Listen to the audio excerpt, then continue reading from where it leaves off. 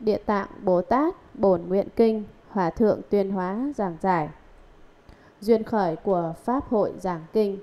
Tất cả mọi nơi đều là đạo tràng, Pháp hội Cho nên bất cứ lúc nào và bất cứ ở đâu Chúng ta cũng đều có thể giảng kinh thuyết Pháp Tu tập hành trì được cả.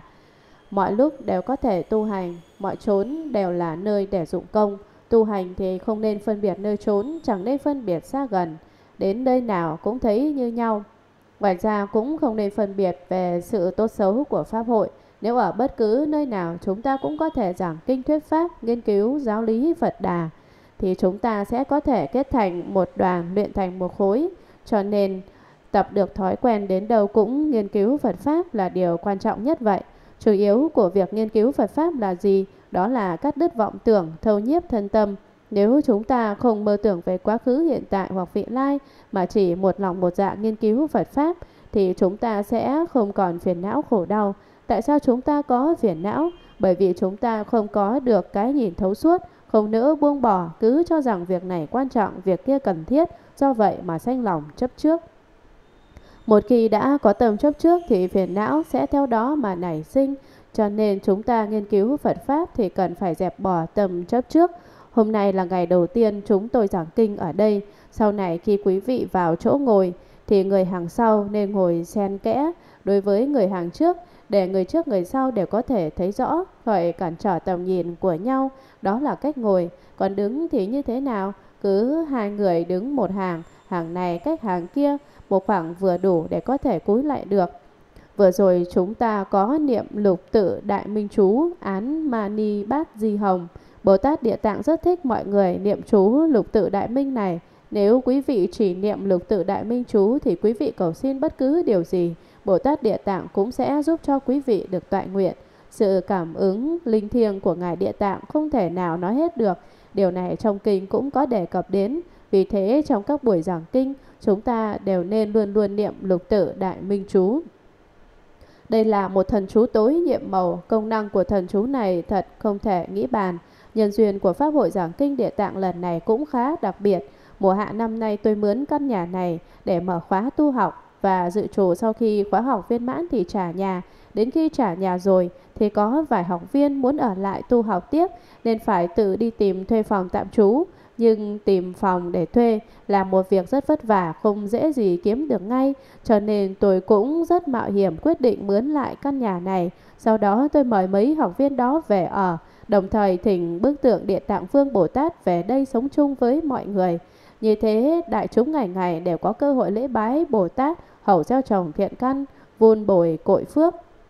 Tuy nhiên đối với người Mỹ thì Bồ Tát vẫn còn quá xa lạ. Trước kia họ không biết đến bất cứ một vị Bồ Tát nào cả. Bây giờ lại ở chung một nhà với Bồ Tát thì có người lấy làm vui mừng, xong cũng có người ngần ngại. Ổ tượng Bồ Tát này trông giống người thật quá và sanh ra sợ sệt. Do đó bây giờ tôi sẽ giới thiệu vị Bồ Tát này với quý vị và muốn kết bạn với ai, tất trước hết chúng ta phải tìm hiểu xem người ấy là người như thế nào. Này quý vị muốn làm quen với Bồ Tát Địa Tạng nên tôi sẽ giảng kinh Địa Tạng cho quý vị nghe. Kinh Địa Tạng được xem là một bộ hiếu kinh của Phật giáo. Bồ Tát Địa Tạng là một vị Bồ Tát thực hành hiếu đạo và là vị Bồ Tát hiếu thảo với cha mẹ nhất vì cũng mong muốn mọi người đều học theo tinh thần hiếu đạo của Bồ Tát Địa Tạng cho nên hôm nay tôi giảng bộ kinh địa tạng này. Bây giờ chúng ta sẽ tìm hiểu bộ kinh này dựa trên 6 yếu tố. Thứ nhất là nhân duyên nảy sanh giáo pháp, giáo khởi nhân duyên, tức là nhân duyên, nguyên do có bộ kinh này. Thứ hai là phân loại theo tạng thừa, tạng thừa sở nhiếp, tạng là tam tạng, thừa là đại thừa và tiểu thừa mà cũng là ngũ thừa, nhân thừa, thiên thừa, thanh văn thừa, duyên giác thừa và bồ tát thừa. Như vậy yếu tố thứ hai là xét xem kinh này thuộc về tạng nào trong ba tạng và thừa nào trong năm thừa. Thứ ba là nêu rõ tông chỉ kinh, biện định tông chỉ. Thứ tư là giải thích đề mục kinh, tiêu thích danh đề. Thứ năm là dịch giả truyền dịch.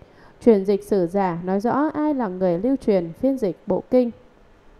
Và thứ sáu là giảng giải kinh văn, biệt giảng văn nghĩa, giải thích ý nghĩa của kinh văn. Một, nhân duyên nảy sanh giáo pháp, giáo khởi nhân duyên. Giáo khởi nhân duyên nghĩa là gì? Giáo là lời giáo hóa dạy dỗ chúng sanh của các bậc thánh nhân. Khởi tức là trước kia vốn không có mà bây giờ lại có. Lại nảy sanh ra nhân là nhân tố, còn duyên là duyên cớ. Thế thì do nhân duyên gì mà khởi sanh giáo pháp này? Sau khi thành Phật, Đức Phật Thích Ca Mâu Ni thuyết pháp dòng dã suốt 49 năm, giảng kinh tại hơn 300 pháp hội, song Thủy Trung vẫn chưa siêu độ cho Ma Gia Phu Nhân, thần mẫu của Phật. Đức Phật Thích Ca vốn được sanh ra từ cạnh sườn phía trên bụng bên trái của thần mẫu và hạ sinh ngài xong thì Ma Gia Phu Nhân qua đời. Sau khi chứng đắc Phật quả, ngài quán xét và biết là thánh mẫu đã được thác sanh lên cõi trời. Bấy giờ lúc đã thuyết xong kinh Pháp Hoa và trước khi thuyết kinh Niết Bàn, Phật Thích Ca nhớ đến mẫu thân nên liền lên cùng trời đao lợi ba tháng để thuyết pháp cho thánh mẫu nghe. Phật thuyết pháp gì ở đao lợi thiên? Phật đã thuyết kinh Địa Tạng, một bộ kinh dạy về đạo hiếu. Vậy do muốn cứu độ tử mẫu nên Đức Phật Thích Ca Mâu Ni đã lên cung trời đao lợi thuyết giảng kinh Địa Tạng Bồ Tát bổn nguyện. Đức Phật vì mẹ mà tuyên thuyết giáo pháp kinh Địa Tạng. Thế thì bộ kinh này phải trang rất trọng yếu. Hai phân loại theo tạng thừa, tạng thừa sở nhiếp, tạng là tam tạng, kinh tạng, luật tạng, luận tạng. Nhiếp có nghĩa là thuộc về kinh tạng thì thuộc về định học, luật tạng thuộc về giới học, luận tạng thuộc về huệ học, kinh luật luận cũng chính là giới định huệ. Bộ kinh này thuộc về kinh tạng và luật tạng vì trong đó có đề cập đến giới luật. Thừa ở đây chính là ngũ thừa, có người nói chỉ có tam thừa, thành phần thừa, duyên giác thừa và Bồ Tát thừa mà thôi. Thế thì ngũ thừa là gồm những gì? Là ba thừa ấy cộng thêm nhân thừa và thiên thừa nữa thì thành năm thừa. Mỗi chúng ta đều có nhiều điểm khác biệt nhau, giữa trừ thiên với nhau cũng có thiên sai vạn biệt. Thành phần duyên giác cũng thế và Bồ Tát cũng không phải chỉ có một mà là rất nhiều vị. Vậy bộ kinh địa tạng này thuộc về nhân thừa, thiên thừa và Bồ Tát thừa. 3. Nêu rõ tông chỉ kinh, biện định tông chỉ. Bộ kinh này lấy gì làm tông chỉ? Tông chỉ của bộ kinh này gồm có 4 điều và được bao hàm trong 8 chữ hiếu đạo, độ sanh, bạt khổ, báo ân. 8 chữ này nói lên điều gì? Đó là tình nghiền hiếu đạo, đạo lý hiếu thảo với cha mẹ. Con người nếu biết giữ hiếu đạo thì trời đất sáng ngời rạng rỡ. Điều khiến cho trời đất cảm động cũng chính là lòng hiếu thảo. Nên nói thiên địa trọng hiếu, hiếu đương tiên, trời đất đều xem trọng đạo hiếu, hiếu là trước nhất. Một hiếu đạo, chữ hiếu này vô cùng quan trọng. Chỉ cần có một chữ hiếu là toàn gia được yên vui êm ấm. Có câu hiếu thuận lại sanh con hiếu thuận, hiếu thuận hoàn sanh hiếu thuật tử. Nếu quý vị hiếu thuận với cha mẹ mình thì sau này con cái của quý vị cũng sẽ hiếu thuận với quý vị. Còn nếu quý vị không hiếu thảo với song thân thì con cái của quý vị rồi cũng sẽ không hiếu thảo với quý vị. Vì sao chúng ta phải học cách làm người? Làm người có ý nghĩa gì? Có người nói rằng tôi làm người một cách hồ đồ như vậy thì cũng xong thôi. Nói như thế là không phải. Bổn phận của kẻ làm người là phải hiếu thảo với cha mẹ. Bởi cha mẹ chính là trời đất, là sư trưởng và cũng là chư Phật. Có cha mẹ mới có mình. Nếu không có cha mẹ thì mình không có được thân thể này và không có thân này để tu hành thì mình sẽ chẳng bao giờ thành Phật được cả. Cho nên muốn thành Phật thì trước tiên phải chọn hiếu với cha mẹ. Vậy tông chỉ thứ nhất là hiếu đạo, hai độ xanh tổng chỉ thứ hai của bộ kinh này là độ xanh Thế nào gọi là độ xanh Từ bên từ bờ bên này vượt sang bờ bên kia gọi là độ, từ sanh tử đến niết bàn cũng gọi là độ, từ phiền não mà được bổ đề cũng gọi là độ. Độ sanh ở đây có nghĩa là cứu độ chúng sanh. Cứu độ chúng sanh thì không phải là chỉ cứu một hoặc hai người, cũng không phải là ba người hoặc năm người. Độ chúng sanh là độ thoát tất cả 12 loại chúng sanh, phải phát tâm giáo hóa hết thảy chúng sanh, khiến cho tất cả chúng sanh đều sớm được thành Phật. Như thế mới gọi là độ chúng sanh. Ba bạt khổ, đây là tôn chỉ thứ ba. Bộ kinh này có công năng nhổ sạch khổ não, dứt trừ mọi nỗi khổ của chúng sanh. Bốn báo ân, báo ân ở đây chính là báo đáp công ơn sanh thành dưỡng dục của cha mẹ. Vậy tám chữ hiếu đạo bạt khổ độ sanh báo ân là tông chỉ của kinh địa tạng. Nếu giảng cặn kẽ thì quá nhiều cho nên tôi chỉ đề cập đến những điểm trọng yếu. Sau khi hiểu rõ các ý chính, quý vị sẽ thông suốt được tất cả. Nghe nhắc đến đạo hiếu, có nhiều người liền nghĩ mình phải về để hầu hạ báo hiếu cho cha mẹ, nhưng về đến nhà gặp cha mẹ thì họ lại chứng nào tật nấy, quên mất bổn phận hiếu thảo. Vì sao họ quên? Vì họ không thể, không hiểu hiếu đạo chân chánh là như thế nào. Tu học Phật Pháp tức là chân chánh hiếu thảo vậy. Chớ nói rằng về nhà quanh quẩn bên cha mẹ mới là có hiếu, rồi về tới nhà thì lại quên mất bổn phận hiếu thảo. Quý vị ở đây nghiên cứu Phật Pháp hoặc làm người tốt, Điều này đối với thế giới rất có lợi, mang lại lợi ích cho thế giới cũng chính là báo hiếu cha mẹ vậy. Hiếu được phân làm bốn loại, tiểu hiếu, đại hiếu, viễn hiếu và cận hiếu. Thế nào gọi là tiểu hiếu? Tiểu hiếu là hiếu đạo trong phạm vi gia đình, tức là chỉ hiếu thảo với cha mẹ ruột của mình chứ không hiếu thảo với tất cả mọi người, chưa có được lòng hiếu thảo bao la quảng đại.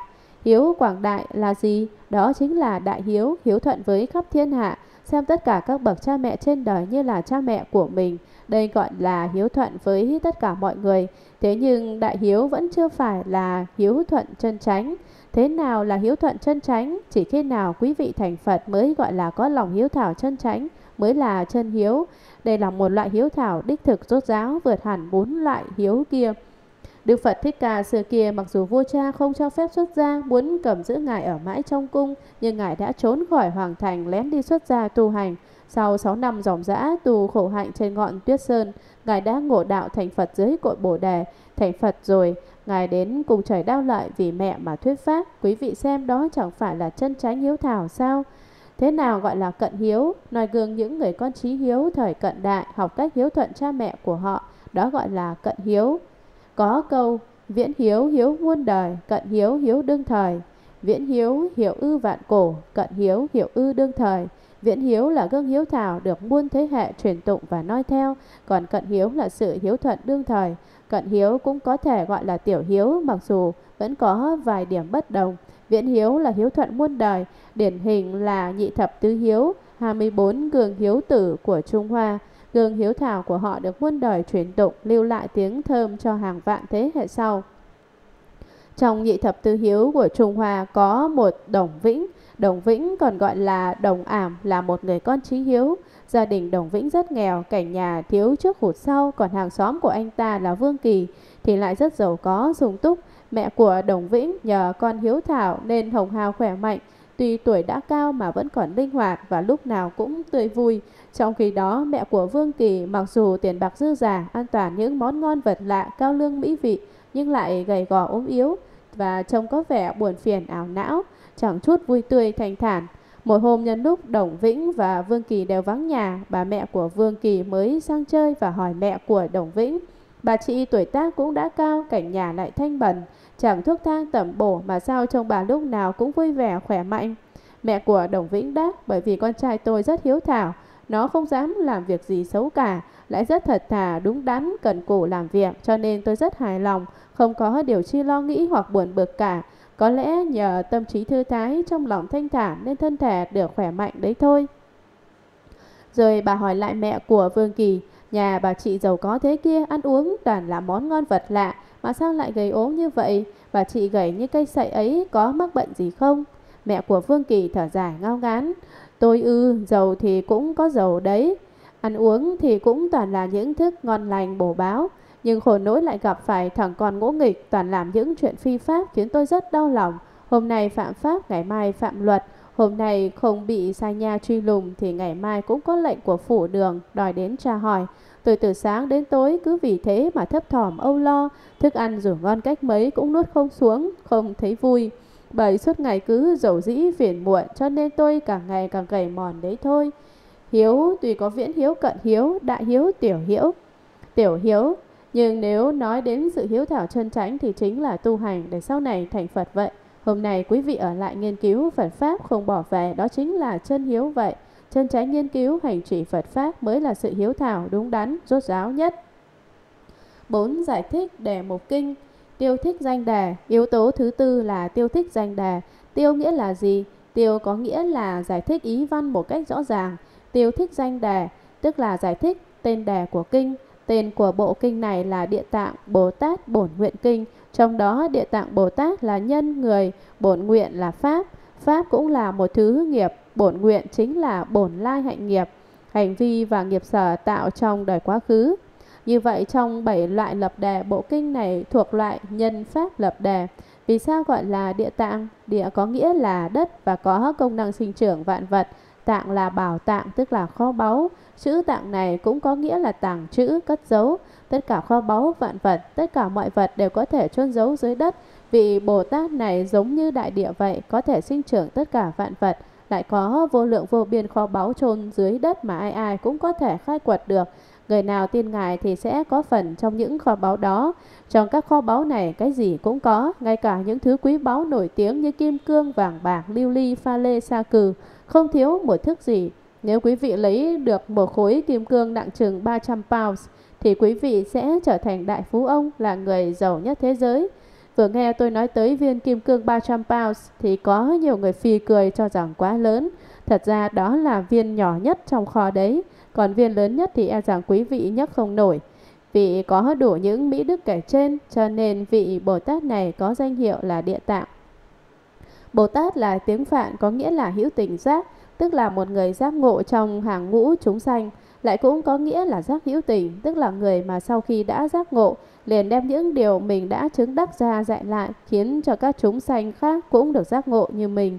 Đây chính là tự giác giác tha. Sau khi tự mình giác ngộ rồi thì nguyện cho tất cả chúng sanh cùng được giác ngộ, lại cũng có thể gọi là tự lợi lợi tha. Chính mình có được đại trí huệ, bèn nguyện cho tất cả chúng sanh cũng được đại trí huệ. Có đại trí huệ rồi thì không còn sự điên đảo nữa.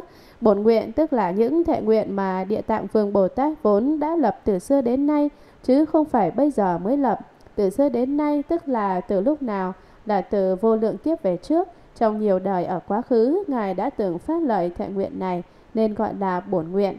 Trong thập nhị bộ kinh có phần bổn sự, ghi chép những sự việc xảy ra trong đời quá khứ.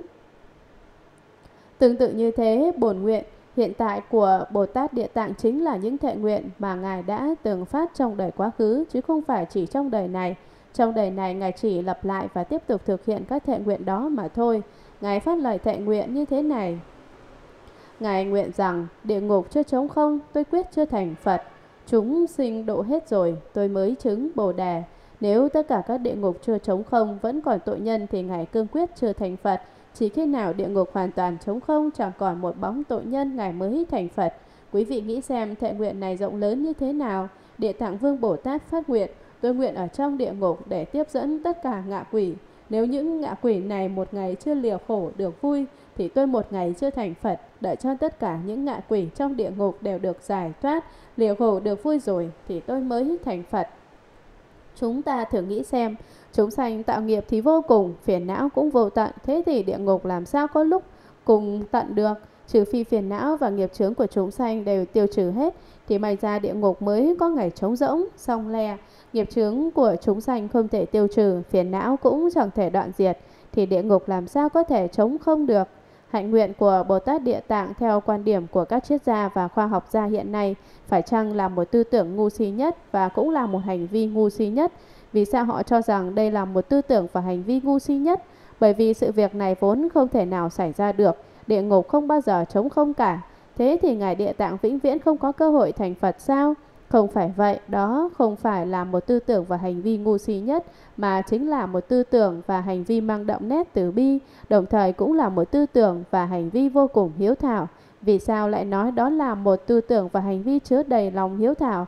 Bồ Tát Địa Tạng sau khi quan sát và biết được mẹ mình bị đọa địa ngục chịu nhiều thống khổ, bèn đến cầu xin Đức Phật siêu độ cho mẫu thân. Địa Tạng Vương Bồ Tát đích thực là ai? Ngài chính là tôn giả Ma Ha Mục Kiền Liên, nguyện ở trong địa ngục làm Bồ Tát. Vì sao Ngài muốn làm Bồ Tát ở địa ngục? Bởi vì Ngài thấu hiểu và cảm thông được mọi đau khổ mà thân mẫu Ngài đã chịu đựng nên Ngài liên tưởng nếu mẹ mình chịu khổ như vậy thì tất cả những bà mẹ trên cõi đời này cũng đều chịu khổ như thế. Cho nên Ngài dùng tâm hiếu đạo bình đẳng không phân biệt mà độ thoát tất cả chúng sanh trong địa ngục khiến họ liều khổ được vui. Vừa rồi là nói về bột nguyện của địa tạng vương Bồ Tát. Bây giờ chúng ta hãy tìm hiểu chữ địa đất. Địa có 10 nghĩa, nhưng 10 ý nghĩa này cũng chưa diễn đạt hết được công năng của địa. Vì vậy tôi sẽ giảng sơ lược. Một rộng lớn, quảng đại. Ý nghĩa thứ nhất là quảng đại. Quý vị thấy đất có quảng đại rộng lớn không? Có lẽ trong quý vị có người đang nghĩ, thầy ơi thầy không cần giảng nữa, ý nghĩa rộng lớn của đất ai mà chẳng biết thì chính vì ai cũng biết nên tôi càng cần phải giảng hơn nữa để mọi người có thể biết được nhiều thêm một chút nữa. Hai, nơi nương tựa của chúng sanh, chúng sanh y. Đây là đất là nơi nương tựa của mọi chúng sanh, tất cả chúng sanh đều nhờ vào đất mà sinh trưởng. Quý vị nghĩ xem có chúng sanh nào mà chẳng sống nhờ trên đất hay không? Thật vậy, không một chúng sanh nào sống trong hư không cả. Đó là ý nghĩa thứ hai của địa. 3. Đất không ưa ghét. Địa vô hảo ố. Đất không ưa thích cũng chẳng ghét bỏ ai. Đất không hề phân biệt lựa chọn. Ê, tên chúng sanh này ta cho ngươi ở chỗ đó. Còn tên chúng sanh kia hãy cút đi, ta không thích ngươi. Bất luận chúng sanh nào dù tốt hay xấu, thiện hay ác, dù là cọp, beo hay hiều nai, tất cả đều sống trên đất, đều nhờ đất mà sinh tồn. Ngoài ra, đất không sinh tâm tốt cũng chẳng nảy tâm xấu. Có người nói tôi hiểu điều đó, đất hoàn toàn không có tri giác. Quý vị cho rằng đất không có tri giác sao? Tri giác của đất không phải là điều mà tri giác chúng ta có thể hay biết được. Đất cũng có tri giác của đất và đất cũng là một trong những chúng sanh vậy. 4. Tiếp thọ mưa lớn, thọ đại vũ. Đất có thể tiếp thọ những cơn mưa lớn. Trời mưa lớn cách mấy, đất cũng đều tiếp nhận hấp thụ được cả.